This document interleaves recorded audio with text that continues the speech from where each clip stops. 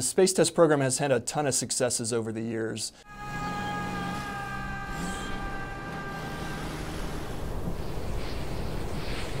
With our 50 year history, we've been involved in a lot of uh, systems to include some of the mainstays in the uh, nation's arsenal right now. Give me a range and grid to the target. Range is 1,700 meters. Hey, we're still waiting for the satellites to acquire. To include uh, the GPS navigation system. Can I get a status check on all the vehicles over the target region? Sir, all birds in area are healthy. We have a good FOM on the GPS. Building grid 42 Tango, Charlie Whiskey 982 468. Roger. Give me a sensor over the target.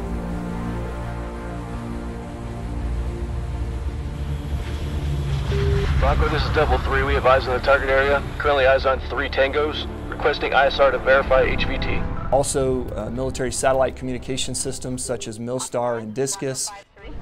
Currently, double one requesting to armed overwatch. Request you push to double one at the following grid. 42 Tango Charlie Whiskey 98. Roger Bronco pushing to double one and we'll contact him on yellow zero one. Stand by for full 360. Looking for a positive ID on HVT1. How copy? Good copy. Standing by. How's the feed look? Hey, what's the status of Alpha 1? I show no interference. RPA Alpha 1. Good handshake with Alpha 1. Double three, your Reaper is on station. Call sign Alpha 1. How copy? Good copy. Call sign Alpha Zero One. Requesting follow-on CAS to our location as well. Double three, you have two F-16s inbound. TOT is 15 mics. Call sign Hornet 1.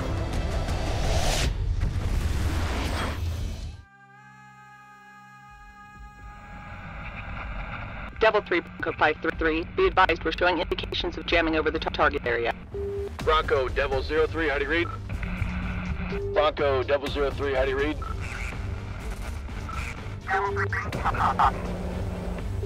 Any station, any station. Devil Zero Three. How do you read? 2017 marks the 50th anniversary of the Department of Defense Space Test Program's first launch Happy birthday, STP!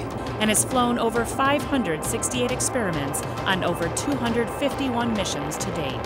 The DoD Space Test Program is important to the space community because uh, we are the one-stop shop for finding platforms, launch vehicles, rideshare opportunities, hosting opportunities for experiments that need to go to space.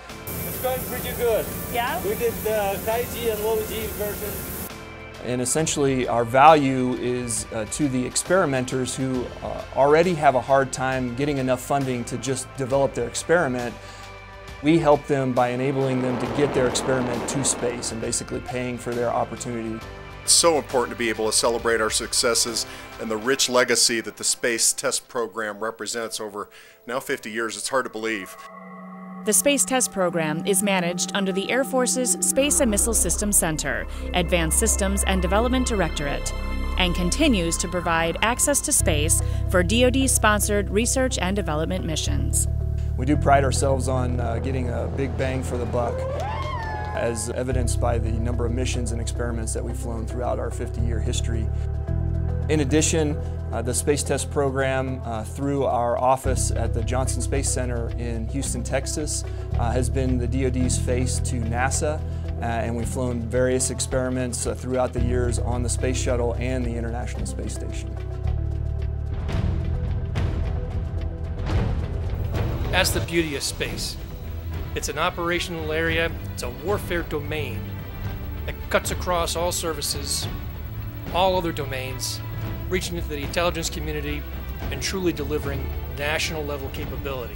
Generations of STP alumni, along with current team members and associated members of the space community, gather at Kirtland Air Force Base, New Mexico to celebrate this hallmark and share their expertise and experiences over the years. 50 years later, how are we using space to gain the information and knowledge that we need to stay ahead of our would be adversaries?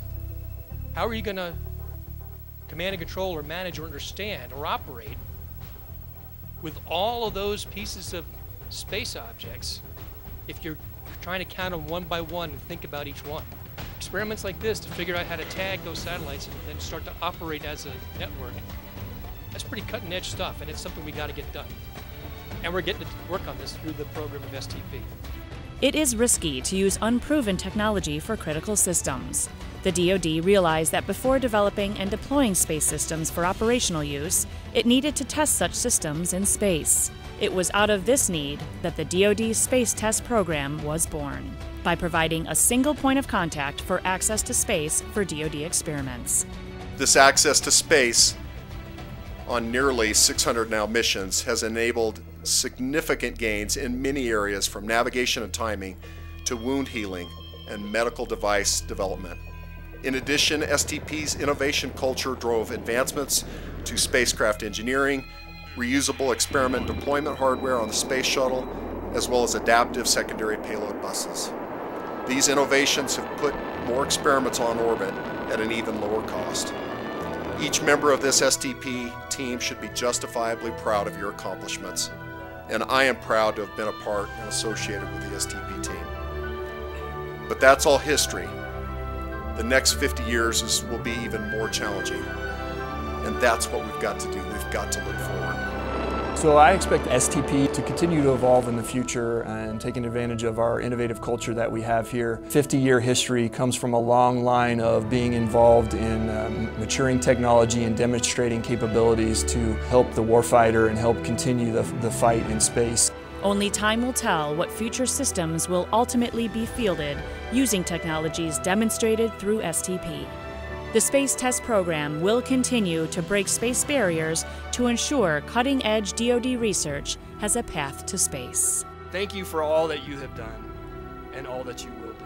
All right. Congratulations, STP. Thank you for celebrating this amazing milestone with us. 50 years of passionately breaking barriers with our amazing partners.